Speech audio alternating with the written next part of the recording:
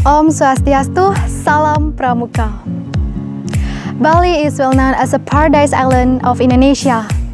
In Bali, there are so many tourist destinations have an exotic view and culture. Now I want to tell you about one of tourist destination which is located in Sangeh Village, Badung Regency. Can you guess what is it? Yeah, Sangeh Monkey Forest.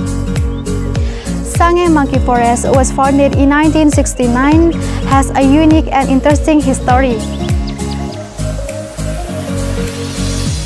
According to local residents, in ancient times, people believed that the trees in this forest come from Agung Mountain. It was believed that the trees moved by itself and then someone saw it when it was moving. And at the time, this tree stopped in this place and the place was given the name Sangeh. Why Sangeh? Eh? Because Sangeh eh comes from the word sang which uh, means person and means saying.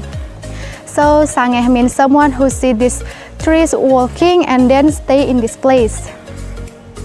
Beside the beautiful exotic view from Sangeh, Badung Regency also have um, cultural heritage and then uh, one of them is Subak. It is defined as an organization of water management system by farmers. A certain part of rice field which get water will plant rice and the other part which doesn't get water will plant crop. Subak also uh, shows their gratitude by praying at the temple uh, to worship goddess as a Dewi Sri.